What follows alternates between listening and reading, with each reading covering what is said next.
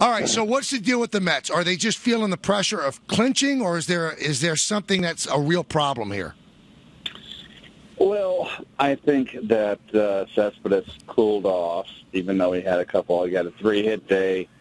Um, I think they relied on him so much because I tell you, I've never seen anybody have a five, five, six-week performance like this guy did. Um, that that to carry the ball club. So uh, he, cooled off, and everybody cooled off with him. Uh, so they're not hitting. We got issues in our bullpen. Um, I think yes, they were feeling a little bit of the pressure at home, and I really feel that uh, the road will be good for them. I have, in fact, in the office today, at Terry's office, I asked him if he was glad to be on the road, and he said yes, and I agree 100%.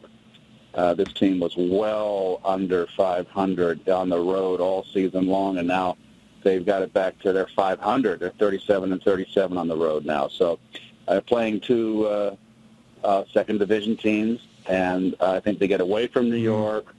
Um, you know, get more focused, and uh, I always felt less pressure on the road than I did at home in clutch situations. So I think that'll be a positive. But uh, certainly they haven't hit. We have issues in our bullpen, as you know. I have real concern about Clippard right now. I think they've overworked Clippard. I think that mm. Terry, because he, the bullpen being thin, uh, had not a lot of depth uh, has gone to the whip, and I think that the, the Clippard's a little bit tired. He's not going to use him tonight. He's worked three days in a row. I really think they got to be careful with him. Uh, but uh, we'll see which way it shakes. Uh, it's been interesting. It's, we were I was just talking with Gary in the booth here, we're preparing for the game. If Washington had had a, a, a real good week, yep, they'd be right back in it. Yeah, you're right. They can't get out of their own way. Losing again today. Yep. Keith, I want to get Duda going. You know, earlier this season, he was as hot as any player in Major League Baseball. What does he need to do to get back on track? Needs to lay off the upstairs fastball and focus on the ball down. And so we've got a, he's got a low ball swing like a typical left-handed power hitter, and um, they've been pounding him inside and belt high and up, and he can't lay off.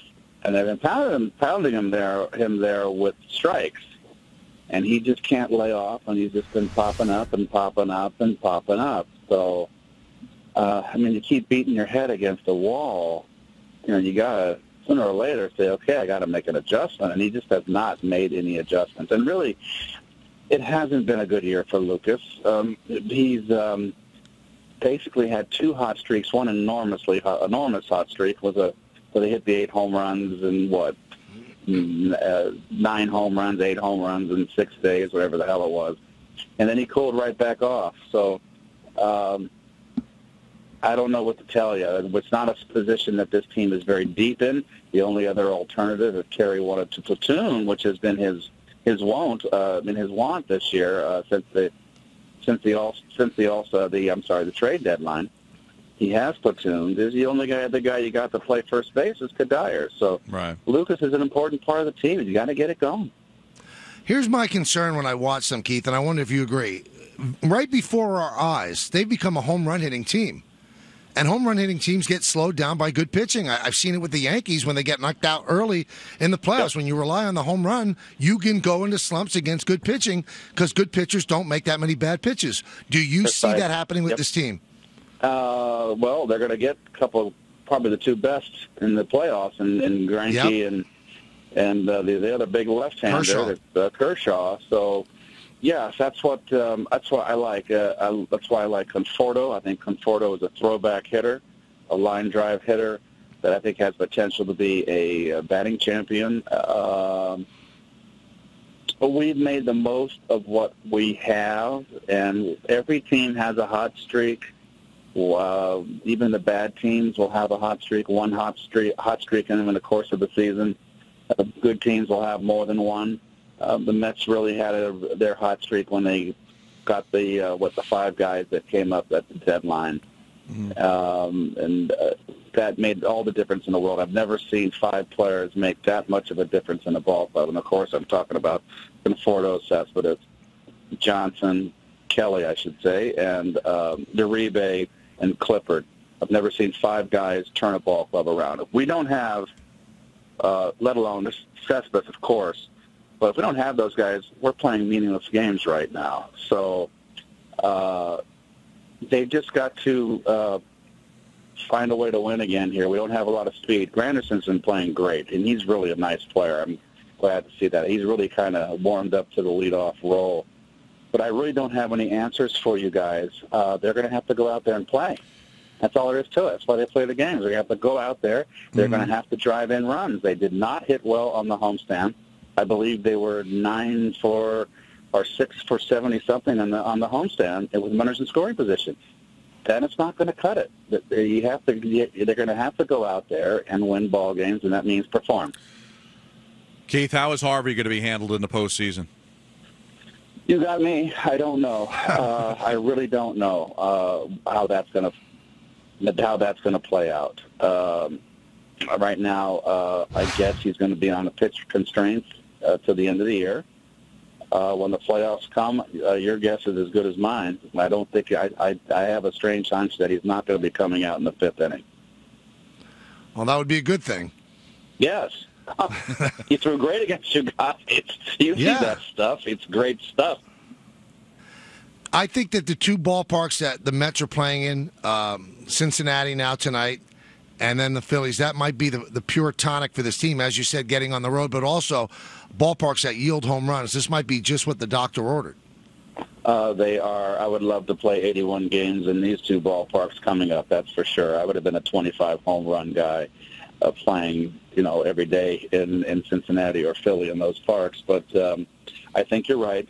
Uh, the the pitching, uh, uh, Degrom is going to have a couple of days off, but he's going to pitch this weekend. Uh, Matz is pitching tonight, and Matz, this is his fourth start, I believe, since coming back, and he really hasn't gotten back to form yet. I, uh, he's, he's a work in progress trying to get there and it's been bothering him because he really was a shame he got hurt. He came up, had the two great starts, and came up in a groove and a rhythm where he had just he just oh dominated AAA, and I think he's a bit frustrated, and I think he's trying too hard. You know, and these things just don't happen overnight. So tonight's a big start for him. We're going to need those guys. Our pitching is going to have to be the ones that are going to carry this team in the playoffs. They're going to have to pitch like they've pitched all year. Talking with Keith Hernandez of SNY. First pitch is 710 Mets and the Reds tonight from Cincy. Before I let you go, Keith, we spoke all of yesterday's show about the uh, the passing of Yogi Berra. Did you ever have any interaction with Yogi? Oh, certainly. I've had a lot of interaction with Yogi, and I said it on the air. Yogi made me feel like he was the above-average player, and I was the Hall of Famer. You know, and um, he was just such a wonderful uh, guy to me, and I enjoyed talking baseball with him, and of course he would love to talk baseball. And uh, just a lovely man. I mean, uh, there's so many. Everything that's been said about him is true. He was one of the really true great characters and good human beings. And if you look at his numbers, I don't know. You guys probably you being the Yankee broadcast. Uh, Gary mentioned something that for seven years in a row, with DiMaggio on the front end of his career and Mantle uh, towards the end of his career, uh, he led the Yankees in RBIs seven years in a row, something like that, with DiMaggio and and Mantle on the team. That says a lot right there, doesn't it? And never struck out. Already, you know that Bryce Harper already has more career strikeouts than Yogi had. Yeah, I hear you. Um, just a uh, great career, great clutch hitter, and you know what? Uh, what five foot nine, a little guy, and uh, a bad ball hitter, high ball hitter, didn't walk, I think the most walks he ever had in his career was 66. You know, today's game, they might have said, "Hey, you can't play, kid. Sorry." yeah, you don't strike out enough. you don't walk enough. anyway, you Keith, enough, you don't take enough pitches. that's right. That's right. Keith, thanks for coming on. Tell Gary we hey. said hello and enjoy the uh, right. enjoy the time in Cincy. All right, and you guys have a great finish to your season. Good luck in the playoffs.